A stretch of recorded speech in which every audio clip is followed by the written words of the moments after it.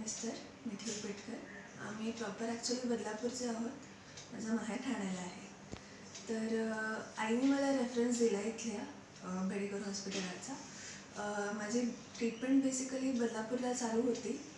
पण एक माहेरी पण नाव नोंदवायचं म्हणून इकडे नोंदवलेलं खरं. पण आता सिच्युएशन अशी झाली की इकडे जेव्हा मी आले तेव्हा इथलं मला आवडलं एकंदर सगळंच. स्टाफ नर्सेस डॉक्टर मेन एकंदर सगळंच आवडलं. पण तरी पण असं म्हणजे हे होतंच की नाही बदलापूरला करायचं आहे बट जेव्हा सोनोग्राफी वगैरे इकडे लास्टची झाली जशी जशी इकडे ट्रीटमेंट स्टार्ट झाली की म्हणजे फॉलोअप आणि हे ते त्याच्यानंतर कुठेतरी असं वाटलं की नाही की करूया इकडेच म्हणून. आणि डिलिव्हरी प्रत्यक्षात जेव्हा वेळ आली खरोखर तेव्हा खरंच मानलं सगळ्यांनाच मानलं.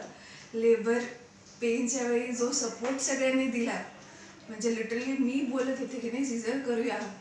म्हणजे आउट ऑफ दॅट पेन मी बोलत होते की करूया म्हणून पण थँकफुली सगळ्यांनी सपोर्ट केला नॉर्मल डिलिव्हरीसाठी आणि आता खरंच बरं वाटतं की थँक गॉड मी सीझन नाही झालं माझं नॉर्मल झालं डिलिव्हरी की एवढं सगळ्यांनी सपोर्ट केलं एकंदर खूप छान ट्रीटमेंट मिळाले त्याच्यानंतर इथलं जेवण ते पण खूप छान असतं.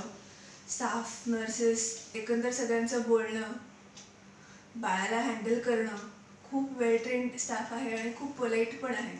आत्तापर्यंत असं कोणी रूढ किंवा उद्धटपणे बोलल्यासारखं काही वाटलं नाही. कधीच कुठल्याच बाबतीत म्हणजे.